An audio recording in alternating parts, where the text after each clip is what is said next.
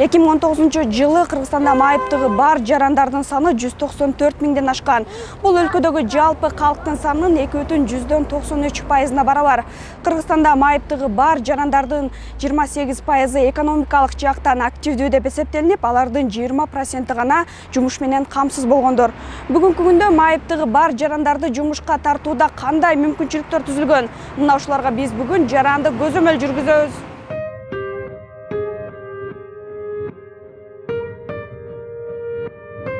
алиман кадырова ошмонун искусство факультетин эки жыл мурда бүтүргөн. Ал жогорку окуу жайды бүтөрү менен бир топ жерге жумуш издеп барган. Бирок майыптыгынын айынан ишке кире алган эмес. Окууну бүткөндөн кийин э, бир э, ошол балдар ой баягы садикке бардым. Анан ал жер частный болчу. Анан мамлекеттик эмес болчу. Анан алар ал жакта мен бир жума жок бир жумадан ашыгыраак э, аракет кылдым да иштеп кетейин деп иштедим бир жума анан алар аябай орой мамиле кылышты. Мынакей көрдүң го сени даже балдар признавать этпейт. Сени эч ким кабыл албайт. Сен биздин дагы убактыбызды алба өзүңдү да кыйнаба андан көрө бул сенин ишиң эмес деп ушинтип э, жолго салды. Башка садикке барбадым. Бирок негизи ага чейин көп көп садикке бардым дагы баарысынан отказ алдым биз. Э, төрт жыл ичинде э, билим эмнеге алдык биз? Ошол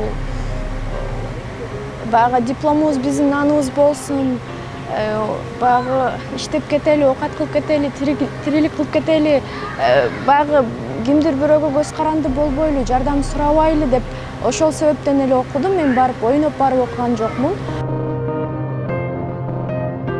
Алиман кадырованын айтымында коомчулук майыптыгы бар жарандарды кабыл алгысы келбейт. Себеби жыйырмадан ашык мекемеге жумуш сурап барганы менен кабыл албай орой мамилелерге туш болгонун айтат. Бизди мамлекет бакпай эле койсун да? Э, бакпай эле койсун. Мындай сөз айтайынчы мен. Э, бизди күн сайын балык менен бакпай эле койсун. Болгону балык кармаганды үйрөтүп койсун деген сөздү айткым келет да. Э, бул дегеним ошол жок дегенде бизди жумуш менен камсыздап койсо балким өз оокатыбызды өз тиричилигибизди кылып кеткенге бир кыйла бир топ жеңил болот да. Биз мүмкүнчүлүгү чектелүү жарандардын эч кандай шарт түзүлгөн эмес эч кандай. Э, ал тургай биздин коомчулукта ордубуз жокко эсе. э, коомчулук коомчулук бизди кабыл алгысы келбейт ал чынын айтканда. Иштебесең жашоо кыйын. Э, ойлоп атам эми бир канча варианттар эми пландар бар. Балким балким кайра дагы ойлоп атам да э, кайра дагы ошол он чакты эле жыйырма чакты эле мекемелерге баргандырмын балким ошентип түрө кыдырып жумуш издеп көрөттүрмүн балким бир ай убактымды жумуш издеп коротуп көрөттүрмүн балким ошондо бири болбосо бири ишке алып калаттыр же болбосо э, башка э, кандай жумуш колуман келет экен деп ойлонуп жүрөм майыптыгы бар адамдардын жумушсуздук көйгөйү өлкөнүн ар бир аймагында бар. Кыргызстанда алардын сексен пайызы жумушсуз. Ден соолугунан мүмкүнчүлүгү чектелгендерге мыйзамда жумуш орундарын түзүү каралганы менен иштебей келет. Майыптыгы бар адамдардын укуктары жана кепилдиктери жөнүндө мыйзамда алар үчүн жумуш орундарын түзүү жана квота берүү каралган. Маселен мыйзам боюнча бир ишканада болжолдуу жыйырма киши иштесе беш пайызы жумушчу орун майыптыгы бар жарандарга берилиши керек майыптыгы бар жарандарды жумушка кабыл алганда аларга сыноо мөөнөтү белгиленбейт биринчи жана экинчи топтогу майыптыгы бар адамга күнүнө жети сааттан жумасына отуз алты сааттан ашпаган жумуш берилүүсү керек. Жумуш убактысы айлык маянага таасир этпеши зарыл.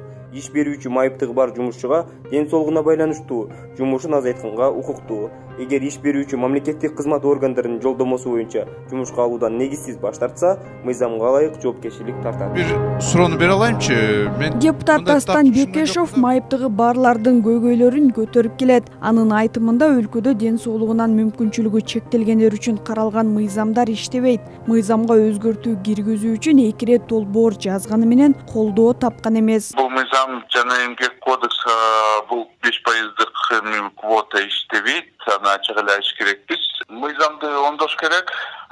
Себеби бул мыйзам менен ал иштей албайт бул бир экинчиден болсо биз дагы мүмкүнчүлүгү чектелген адамдардын дагы билим берүү системаны керекпиз да себеби чындыгында мындай ачык эле айтсак эч ким жөн эле мындай мүмкүнчүлүгү чектелген адамды жумушка албайт. Ал дагы компетенциясы болуш керек. Ичине э, жумушту дагы билиш керек жөн эле отурбай туурабы аны эч ким албайт да мына жөн эле менде отуруп тур мен сага акчаны берем деп. Көпчүлүк э, майыптар мындай мындай карасак аларда же билими жок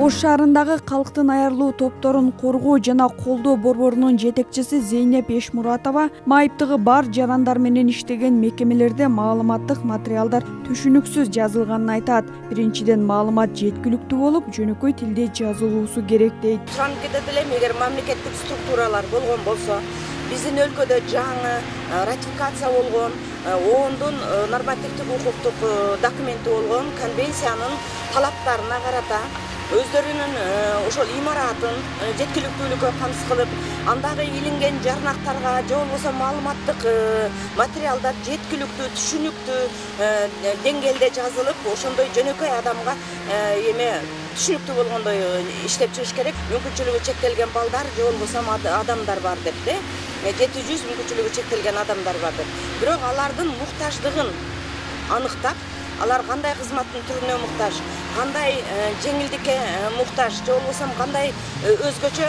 социалдык камкордукка муктаж ошого карата иштелип чыгып көрсөтүлгөн колдоолор аз азыр. Ош шаардык иш менен камсыз кылууга көмөктөшүү башкармалыгына акыркы эки жылдан бери майыптыгы бар жарандар көп кайрыла баштаган. Бирок кайрылган жарандардын аз бөлүгү жумуш менен камсыз болушкан. Себеби алар медициналык жана социалдык экспертизанын иштөөгө жарамдуу деген корутундусунун негизинде ишке кабыл алынат. Биздин ош шаардык эмгек жана социалдык өнүгүү башкармалыгына